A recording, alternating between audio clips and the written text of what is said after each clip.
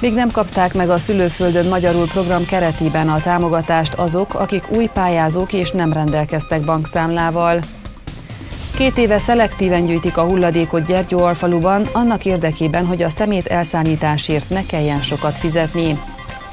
Ötállomásos turnéjuk keretében a Magyar Kultúra Napján vendégszerepel a Kiscsillag zenekar Gyergyó Szent Miklóson.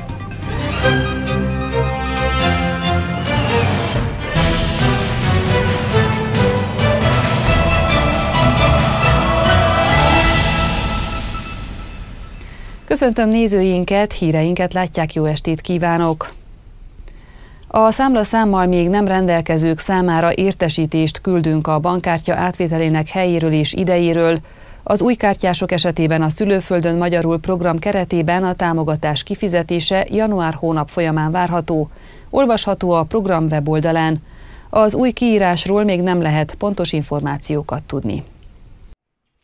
Tavaly november 23-án zárult a Szülőföldön Magyarul program keretében a kifizetés sorozat. Ekkor már nem csak az oktatási nevelési támogatásra pályázók többsége, hanem az egyetemisták is megkapták a nekik járó összeget. Ellenben azok, akik első alkalommal pályáztak és nem rendelkeztek korábban bankszámlával az OTP banknál, még mindig nem jutottak hozzá a támogatáshoz.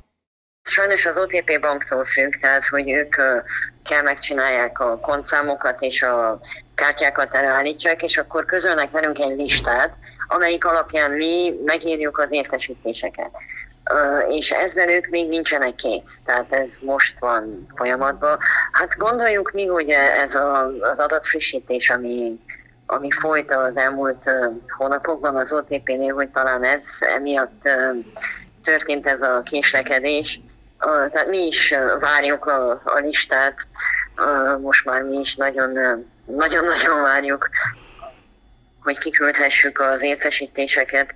Nem tudjuk pontosan sajnos, hogy ez mikor fog megtörténni. A korábbi években az új támogatás igénylők is megkapták a nekik járó összeget december első felében, most azonban ez a procedúra jelentősen megkésett. Romániában közel 7000 új pályázó van, számukra héten történik meg az automatizált számlanyítás. Ezt követi majd a kártyák kiállítása és a pénz átutalása. Nagyon-nagyon sokan telefonálnak, és uh, nem tudunk sajnos pontosabbat mondani nekik sem, csak azt, hogy, hogy mindenképp meg fogják kapni, tehát természetesen ez uh, el nem fog veszni, uh, csak meg kell, meg kell most már várni a most már reméljük, hogy január folyamán csak, csak megtörténik ez a dolog. Eddig már 135.971 magyarul tanuló gyermek számára megkapták a szülők a támogatást, és 853 egyetemi hallgatónak is utalták a pénzt. Remények szerint a többiek is heteken belül felvehetik a 310, illetve 40 lejt. A program új kiírásáról a Romániai Magyar Pedagógusok Szövetségének munkatársa még nem tudott információkkal szolgálni, de elmondása szerint a hónap végén várhatóan már ezzel kapcsolatban is többet fognak tudni. Vészesen csökkent Romániában a sikeresen sofőrvizsgázók aránya, hívta fel a figyelmet szerdán az Országos Gépjármű Bejegyzési és Jogosítványkibocsátó Hivatal. Az intézmény kommunikációs felelőse Rodika Popescu közlése szerint 2018-ban a tanulóvezetőknek mindössze 30%-a kapott átmenő pontszámot a közlekedési ismeretekből, a Kreszből tartott elméleti vizsgán. Ez az arány 2017-ben még 50% volt. Nagyon gyengén teljesítenek a tanuló vezetők a gyakorlati próbán is. A forgalmi vizsgára beiratkozottaknak mindössze 20%-a jutott 2018-ban jogosítványhoz. Aggasztóan felkészületlenek a tanulóvezetők, összegzett a hivatal illetékese. Két éve zajlik a szelektív hulladékgyűjtés Gyergyó alfaluban, egyrészt annak érdekében, hogy a szemét elszállítási díj ne növekedjen, másrészt, hogy fokozatosan ilyen formában is a környezettudatos életmódot is népszerűsítsék. A kampány felfelé ívelő tendenciát mutat. A Gyergyóalfalvi szelektív hulladékgyűjtés története 2017-re nyúlik vissza, és kényszerűség, egyben pedig egy adódott lehetőség megragadása eredményezte. Egy abban az évben hozott országos törvény késztette arra a helyi önkormányzatot, hogy újra gondolja a hulladék gazdálkodást a községben. Történt ugyanis, hogy az említett szabályzat előírta, hogy minden egy tonna hulladék 15%-át szelektíven kell gyűjteni, Ellenkező esetben többletköltséget számolnak fel, melyet adóformájában a Környezetvédelmi Minisztériumnak kell befizetni. Ezt a helyi költségvetésből nem tudták volna fedezni, így válaszút elé kerülve jött a döntés a lakók beleegyezésével, hogy elkezdik a szelektív hulladékgyűjtést a településen. Bege László Balázs alpolgármester úgy fogalmazott, hogy a lakók rájöttek, hogy saját zsebükre játszanak. Ez annyira megterhelte volna ezt a, ezt a részét a költségvetésünknek, hogy azt mondtuk, hogy vagy bevezetjük a szelektív hulladékgyűjtést, vagy pedig meg, egyszerűen meg kell, hogy drágítsuk ezt a szolgáltatást, hiszen nem tudtuk volna honnét kifizetni ezeket a pluszköltségeket. Akadt szerencsére pont abban az időben akadt egy helyi vállalkozó, aki azt mondta, hogy ő nagyon szívesen belevágna, ő valamikor még foglalkozott szelektív hulladékgyűjtése, és nagyon szívesen belevágna egy ilyen közös vállalkozásba, tehát a közös vállalkozás azt úgy kell érteni, hogy a vállalkozás az övé, mi az infrastruktúrát és az információt, meg egyebet adunk mellé. Mi örültünk ennek, kimondottan, kifejezetten örültünk ennek a ennek a lehetőségnek, és akkor egy ilyen szerződést aláírtunk, hogy ők összegyűjtik a szelektív hulladékot, illetve mi megszervezzük ennek a, ennek a kampányát és az összes többi dolgot.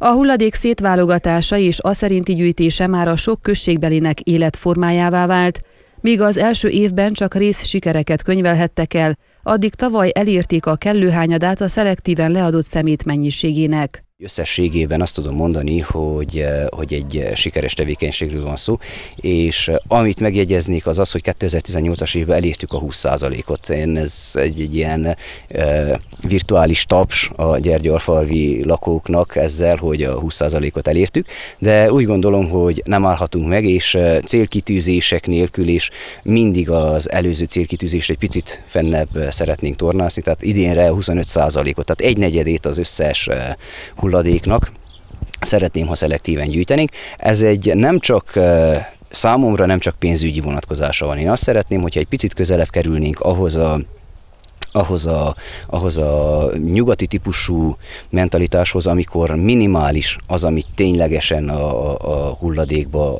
az újra nem hasznosítható hulladékba kell dobni. Hogyha otthon egy picit odafigyelünk, és tényleg megnézzük azt, hogy mi mindent dobunk el olyat a, a hulladékba, amit esetleg újra lehetne hasznosítani, hát egy mindenki megrökönyödne. Én direkt néztem otthon, és, és számomra is nagyon meglepő volt. A számadatok azt mutatják, hogy a lakók megértették, miért fontos külön szemetes kukába üríteni a háztartási hulladékot, és miért érdemes külön az önkormányzat által biztosított zsákokba pakolni a műanyagot, az alumíniumot és a kartont. Ezeknek a maradékoknak a külön válogatására van lehetőség a községben, emellett pedig külön kérésre és természetesen fizetség ellenében az ócskavasat is elszállítja a Szalubri Szerv Gyergyó alfaluban működő alvállalkozója. Az összegyűjtött szelektív hulladék az eh, itt eh, helyben megválogatódik, tehát azt tudni kell, hogy eh, külön kell rakni a színes PET palackot a színtelentől, a kéktől, tehát így, így válogatják meg, és utána az újrahasznosító üzembe kerül, ahol, ahol természetesen ismét nagy valószínűséggel vagy PET palack lesz belőle, vagy az, amit mondtak, hogy nagyon nagy kereslet van rá, ezek a, a PET őrlemény, amit aztán végtelen a felhasználási lehetősége annak, hogy az, az hogyan hasznosítják újra. A településen jelenleg a szemét elszállítási díj 5 lejt jelent személyenként egy hónapra. Gyergyó alfaluhoz hasonlóan Gyergyó Remetén, Gyergyó Ditróban és Gyergyó Csomagfalván működik hasonlóképpen, egyben pedig példaértékűen a szelektív hulladékgyűjtés. A magyar kormány 50 milliárd forintot szán 2019-ben a külhoni gazdaságfejlesztési programokra, és az összegnek a fele 25 milliárd forint jut Székelyföldre. Első lépésben a mezőgazdaságra, a feldolgozó iparra, az élelmiszergyártásra összpontosítanak, és a nagy beruházásokat támogatják. Azt szeretnék, hogy több területen olyan beruházás valósuljon meg, melyek a beszállítók, tehát a kisebb gazdák boldogulását is segítik. A pályázati felhívást múlt év végén közzétették a Proekonomika Alapítvány.ro honlapon. Tavasszal majd újabb pályázatot írnak ki a kisebb összegű támogatásokra. Fontos tudni, hogy kevés bürokráciával járó pályázati rendszert alakítottak ki. A kiírásban nincsenek etnikai jellegű megszorítások, de csak magyar nyelven lehet pályázni. A kiírásokkal kapcsolatos határidők és további tudnivalók a képernyőn látható internetes oldalon érhetőek el. Sajtótermékekből, pontosabban fényképekből nyílt kiállítás Marosvásárhelyen.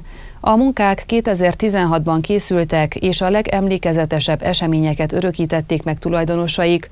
A Halász Gyula világhírű fotóművész emlékére létrehozott tárlatra a romániai fotóriporterek mellett magyarországi, délvidéki, vajdaságbeli fotósok is elküldték pályamunkáikat. A 2016-os év emlékezetes eseményei sajtófotókon summázva.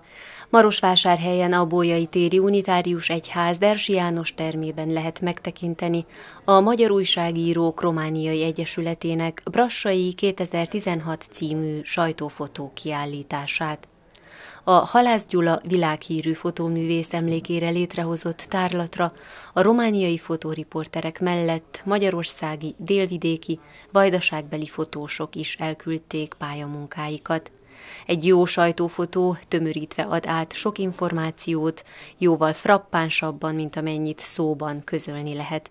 Nézzük, még mi minden tesz egy fotót jó sajtófotóvá. Nyilván a cselekményessége meg az, hogy annak ellenére, hogy a pillanathoz kötődik, azért mégiscsak időtlenül megmutat nagyon fontos helyzetet, életszituációt, és magával ragadja a nézőnek a fantáziáját, tehát tovább mozog bennünk az az üzenet, amit a kép sugal. A cselekményesség mellett legalább annyira fontos ismérve a sajtófotónak a dokumentum jelleg, ezért a hitelessége nem nélkülözheti a dátum, illetve a helyszín megjelölését. A sajtófotó esetében igenis fontos az, hogy megjelenjen rajta, hogy mikor készült, hol készült, miről szól, kinek szól, és így tovább. Azon túl nyilvánvaló, hogy nagyon fontos, hogy az a kép az jó is legyen, de itt kevésbé azok az elvárások, hogy művészfotó legyen. Ez elsősorban dokumentáris, meg egyéb ilyen információs értékben csúcsosodik ki annál is inkább, mivel a fotóriporter, mint tanú, megfigyelő, vagy akár egy egész korszak krónikása is egy-egy találóan megörökített eseménnyel. A megnyitón elhangzott még, hogy a diktatúrában a dokumentarista fotográfia is kemény cenzúra alatt volt, szinte kizárólag propagandafotók kerülhettek nyilvánosságra. A hétvégén nyílt tárlaton 20 szerzőtől 52 fotót lehet megtekinteni.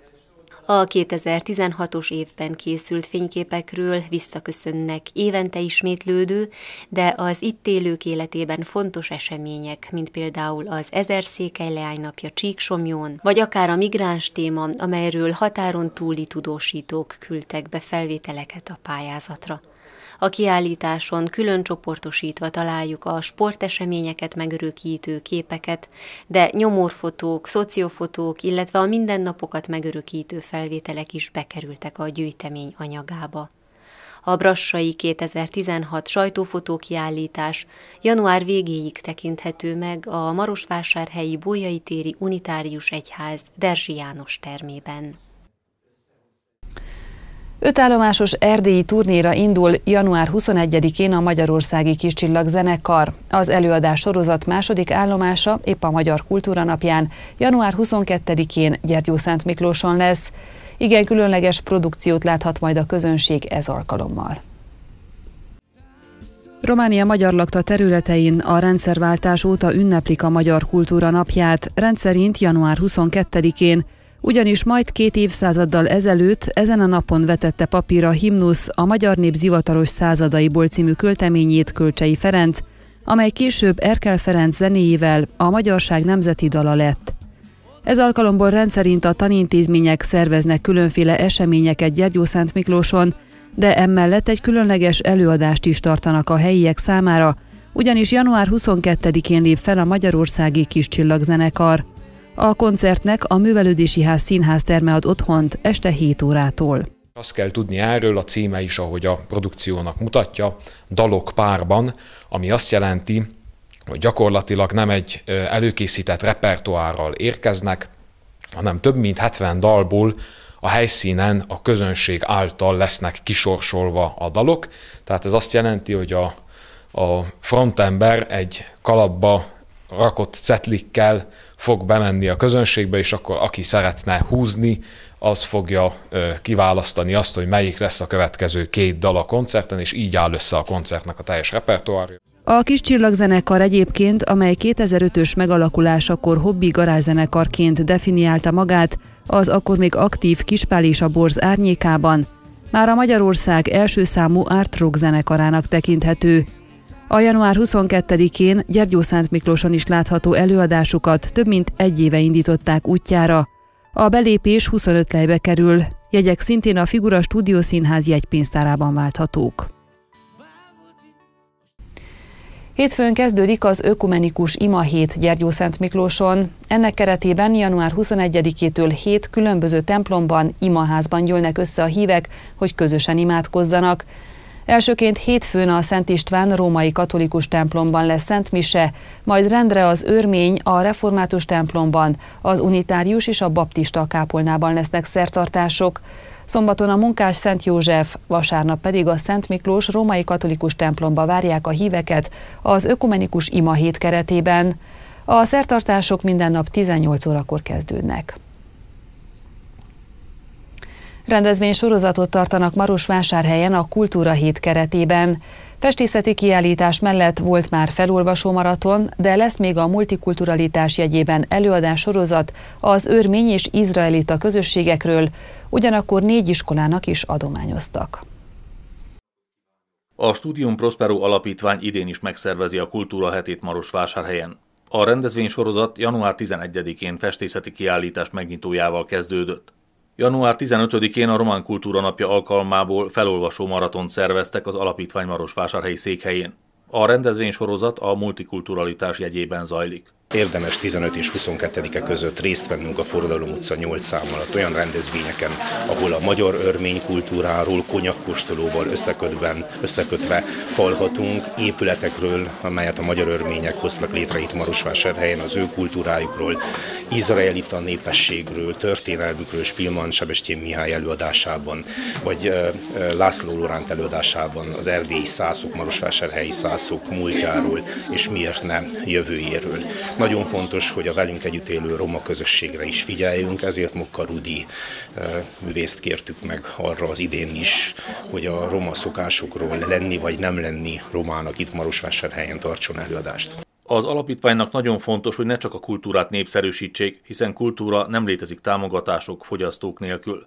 Az idén meglepetés projektként a Román Kultúra napján adományokat adtak át négy marosvásárhelyi iskolának átadnánk három román anyanyelvű tanárnőnek, aki azonban a mi magyar gyerekeinket tanítja, három videóprojektort, ezzel is megköszönve a munkájukat, ezzel is segítve a szülők munkáját, ezzel is segítve a tanárnők munkáját, és ugye az aktuál politikai kérdések miatt, hogy az 1-4 osztályban kinek is kell tanítani a román nyelvet, hogy világossá tegyük a szándékunkat, és azt, hogy ezt mi hogy gondoljuk el, a Serafim Dujku Megyesfalvi iskolá öt magyar tanítónéniének is adományozunk videoprojektort, azért, hogy jól elvégezhessék az elkövetkezendőkben azt a feladatot, amit a közösség úgy gondol, hogy a tanítónénikkel elvégezzenek. Ezzel a támogatással szeretnének hozzájárulni ahhoz, hogy Marosvásárhely valóban a kultúra városa legyen, tette hozzá a Studium Prospero alapítvány ügyvezető elnöke. A Maros megyei könyvtár és a Telekitéka több éve partnerként segíti a rendezvény sorozatot. 110 román könyvvel segítette ki az idén a megyei könyvtár a, a maratont, illetve ugyanennyi, körülbelül 100 könyvvel fogja a magyar nyelvű maratont is kisegíteni. És ezek azok a könyvek, amelyekből válogatni lehet majd mindazoknak, akik, akik felszeretnék olvas, felszeretnének olvasni, akár magyar, akár román nyelven. Nagyon fontos számunkra könyvtárként, hogy minél élőbben benne legyünk a vásárhelyi közösség tudatában. A Kultúra Hete rendezvény sorozat keretében január 17-én csütörtökön a Roma, 18-án pénteken az Örmény, míg 21-én hétfőn az izraelita közösségről lesznek előadások Marosvásárhelyen a Forradalom utca 8 szám alatt. Az előadások délután 6 órakor kezdődnek. A Magyar Kultúra Napja alkalmából január 22-én 12 órától kezdődik a felolvasó maraton a Studium Prospero Alapítvány székhelyén, Marosvásárhelyen a General Avramescu volt Rigó utca 11 szám alatt.